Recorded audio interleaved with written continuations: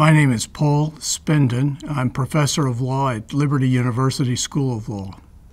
We're going to talk about the Hyatt Regency collapse in Kansas City in July of 1981.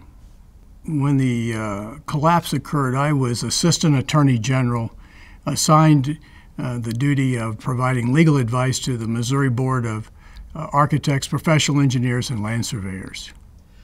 Uh, the, the board looked to me with, uh, for guidance as to how the uh, investigation should occur. We were basically uh, looking to see uh, how to gather evidence and to present it in anticipation of litigation. And so it fell my role to take the lead as to how that investigation should come about. On July 17, 1981, uh, uh, the Hyatt Regency Hotel uh, was staging a tea dance, as was its custom through the summer. Every Friday evening, I believe it was every Friday evening, would hold a, uh, a special dance in its atrium. It was the it was the new hotel in town. Uh, it was where people liked to gather, and so thousands gathered on July 17th uh, to to celebrate the the new building, the new environment, and to uh, and to dance. And at about seven o'clock, uh, finally, the fourth, one of the four floor bridges failed, slipped off of its, uh, of its connection, and, and, the bridges collapsed. And 114 people who were dancing underneath it uh, were, were killed, and hundreds of others were, were injured. The, the cause of the, of the collapse occurred as a result of the failure of, the, uh, of any engineer uh, to do uh, engineering uh, uh, calculations on the steel-to-steel connections on the on the bridges that span the the atrium in the Kansas City uh, hotel.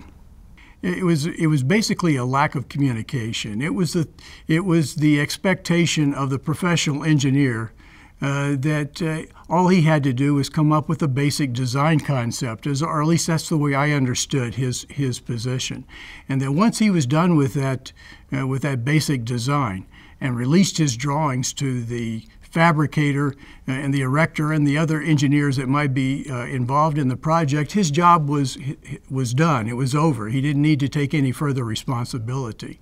So he kind of had a team concept uh, about the his approach to uh, to the work on the Hyatt Regency.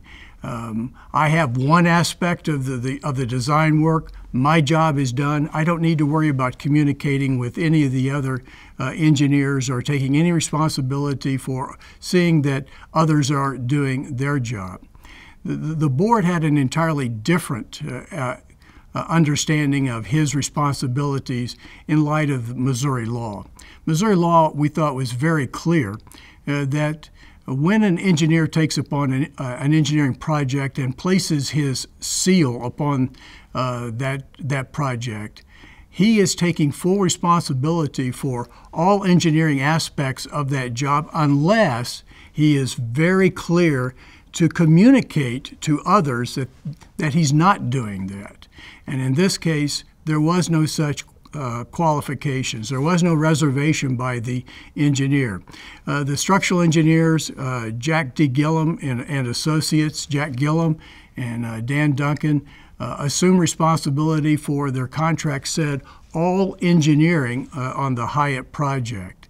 and prepared as part of the design team the basic structural drawings, including the steel-to-steel connections that that uh, made up the, uh, the walkways that spanned the, uh, the atrium.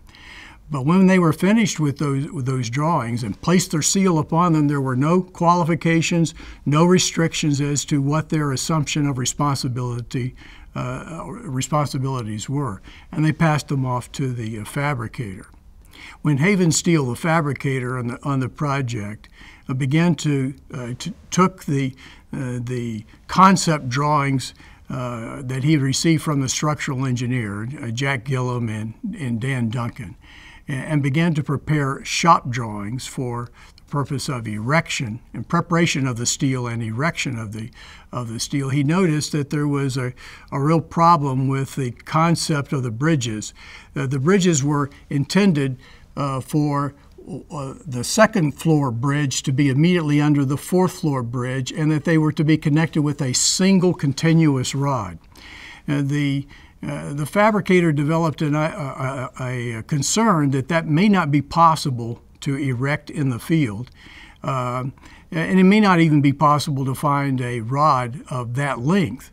And so, with those two uh, problems in mind, he, uh, the evidence that we presented to uh, the administrative law judge that heard the case was that the fabricator, William Ritchie, uh, called Dan Duncan, the lead structural engineer, and said, We've got a problem. We need to look at this. We think that there may be a solution. Let's split the rod uh, at the fourth floor, terminate the rod from the ceiling at the fourth floor bridge, and begin a new rod from the fourth floor bridge down to the second floor bridge. And uh, uh, the evidence that we presented was that Dan Duncan responded, that's a, that's a good solution draw it up on the shop drawings, and I will take a look at it when those shop drawings come back in um, uh, to the office. Um, we presented evidence that indeed the technician going over the shop drawings when they ba- arrived back at Jack Gillum uh, and, and, Associates found the difference, noticed it instantly, and went into Dan Duncan uh, and, uh, and said, There's been a change. And uh, Mr. Duncan's response was, I'm aware of the change. I've talked to the fabricator. It's okay. And so, no calculations. No calculations had been done by the fabricator uh, of the change because he had been uh, told that it would be checked and, and calculated back at uh, the structural engineer's office. Uh, uh, Dan, for whatever reason, Dan Duncan decided that the calculations had already been done and did not calculate the, uh, the connection. There was a, uh, another uh, telephone call to Dan Duncan from the architect on the project, Herb Duncan, asking about the, the change, the, the split in the rods. He was certainly concerned about the aesthetic uh, impact on the project, uh, but he also was very uh, uh, circumspect to ask about the safety. Is this going to impact safety in any way? And the response that he got from Dan Duncan, the evidence that we presented at the at the proceedings, was that uh, Mr. Duncan's response is no problem with safety. It's okay.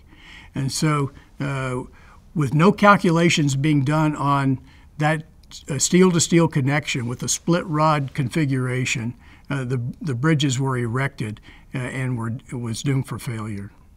The, the hotel, uh, after erection, was open for about a year before the failure occurred in July of 1981. In the middle of construction, I believe it was October of 1979, uh, early one Sunday morning, uh, with the onset of cold weather, uh, the connections failed in the atrium. The building was was not complete, wasn't nearly complete. It was still rough uh, in, in rough stages, uh, uh, but the connections failed, and all of the atrium steel steel fell to the to the floor. If the hotel had been open and that had occurred, there would have been many more than 114 people died that day. The owner of the uh, of the hotel, uh, Hallmark, became very concerned that it had an unsafe building.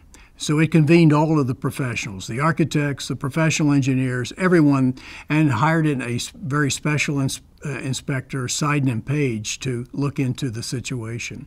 There was a uh, there was instruction given, as I understand it, uh, to uh, Jack Gillum and, uh, and associates to recheck all of the steel to steel connections in the building. Later, uh, at a later meeting, there was reassurance given to the architect and to the owner that indeed that had occurred. Uh, that Greg Luth at Jack Gillum and Associates had gone over the entire building and had looked at the steel to steel connections, including the bridges, specifically said, including the bridges, the walkways that spanned the atrium. Uh, and we have checked uh, those connections uh, for compliance. Uh, and in fact, that was not done. It was, it was an, an untruth, and it was a missed opportunity to realize no calculation had been done uh, on the bridge connections. As I recall the testimony at the, at the proceedings and asked to explain why that was the case, why would the uh, Greg Luth not do what he had indicated, check all of the steel to steel connections? The answer was, well, we spot checked and we just didn't hit the bridges. We would have done more, but we weren't being paid. Ignorance of the law was, was astounding.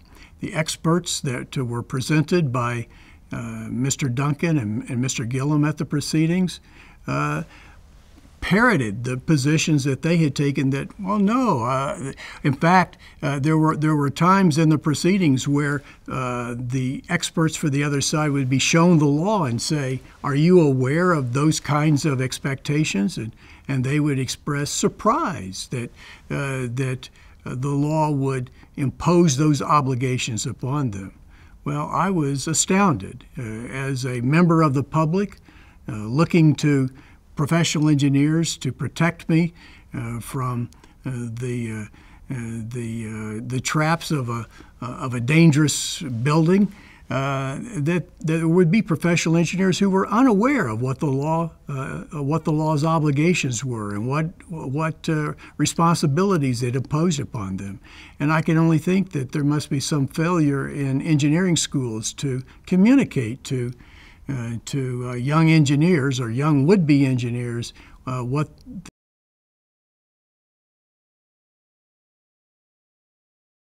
what you do and the entire engineering project if you're going to be the structural engineer on a building project. But if you're not, let somebody know. The expectation is that you will communicate with all of the professionals uh, that are involved the, the architect, uh, with the, the, fabricator and his engineers. Uh, and, and, and you're not merely an insular, isolated team player, but you are, you are the leader uh, of structural engineer unless you make it clear that that's not your role. And, and then, if we're aware of what your what your role is, then the architect and the owner on a project can can take appropriate steps. The law in, in Missouri is very clear uh, that uh, if an engineer takes that position, that he must be very careful that he communicates that expectation to all the parties involved. If he doesn't communicate, if he says nothing, as happened in this situation, then who else are we going to uh, to look to for responsibility but to uh, but to, to, him. So Dan Duncan, by virtue of not knowing the law and not following that practice, uh, set in place a, a, a, collapse that was needless, had no reason to occur. After 27 days of, of uh, trial-like proceedings in front of an administrative law judge who, who rendered more than 400 pages of findings of fact and conclusions of law uh, in, in, this case, uh, declaring that Jack Gillum and Dan Duncan had violated the Practice Act of Missouri for professional engineers. Uh, the board uh, decided that it would revoke the licenses uh, of uh, th- those two gentlemen and the firm for which uh, they were GEC, GCE Consultants two courts, the uh, Circuit Courts of Missouri and the Missouri Court of Appeals, reviewed that decision quite extensively and, affirmed the decision.